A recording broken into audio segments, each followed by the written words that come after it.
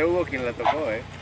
Varios clubes de aviación de la República Mexicana arribaron a Río Verde en San Luis Potosí y sumaron en la aeropista de esta ciudad más de 30 aviones en uno de los flyings más atractivos y nutridos que se tenga memoria.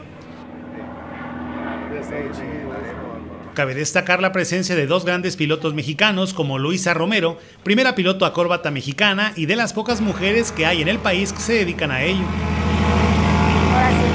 También está en Río Verde el piloto mexicano que le dio la vuelta al mundo en un avión monomotor ligero, el arquitecto Jorge Conis Garduño. Por espacio de dos horas, este viernes 15 de febrero, los aviones aterrizaron casi uno detrás de otro, teniendo coordinación desde tierra por los organizadores, ya que la aeropista de Río Verde no cuenta con una torre de control.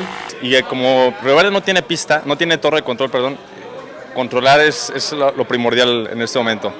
Este, pero es una pista muy buena, tiene más de un kilómetro y medio y pueden bajar aviones casi, casi que de todo tipo. Pues yo estuve controlando los aviones, este, que sea lo más seguro posible, dando sus espacios, dando autorización para aterrizar, para despegar.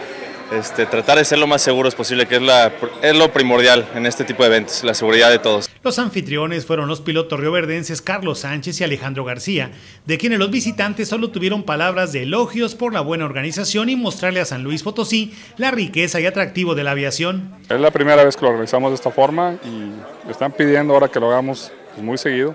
Muy contentos por toda la respuesta de la gente, la verdad tenemos más visitantes de lo que esperábamos y, este, y les gusta mucho, sobre todo yo creo que es Río Verde, la plaza es muy bonita.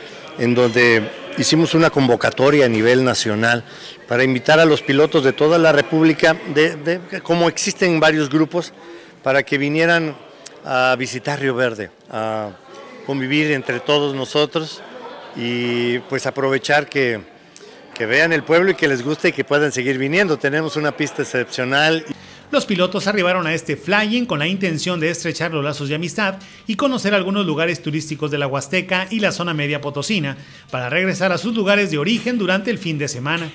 Coincidieron algunos entrevistados en señalar que la aeropista de Río Verde está en muy buenas condiciones y es importante emprender un proyecto para potenciarla y que sea un referente de la aviación en San Luis Potosí. Además, expusieron que en México hay un déficit de pilotos aviadores, por lo que este tipo de actividades promueven el conocimiento y el gusto de la aviación. Con imágenes de Guadalupe Gutiérrez para Noticieros Cable RB, Gilberto Rodríguez Alas.